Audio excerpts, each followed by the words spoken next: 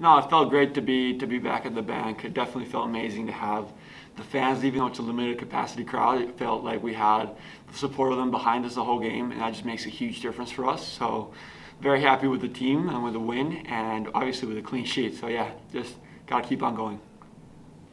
Thank you, Alicia. Take it away. Thank you. Uh, I've got two questions for you, Pablo. Uh, first, um, sounds like you have a little bit of a scratchy voice. You have to kind of work up to get into like in season voice so that you're, you know, not all hoarse at the end of the games. And then, uh, secondly, on a more serious note, uh, last year you guys didn't post a ton of clean sheets. So, how important is it to get the, the clean sheet today and uh, to, to start off the season?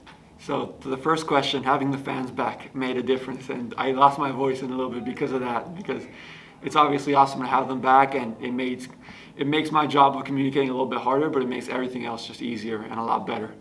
And on the other note, um, what was the other question? I'm sorry, I, I forgot about those in a second. No worries. Uh, getting the clean sheets. Yeah. the Okay. Yeah. Yeah. Of course. Um, well, the clean sheets, like I said earlier, are super important for us as a team and as a unit. So, definitely keeping a clean sheet in the first game and getting a good result was was very important to us, and I'm just very happy to to being able to help. You know.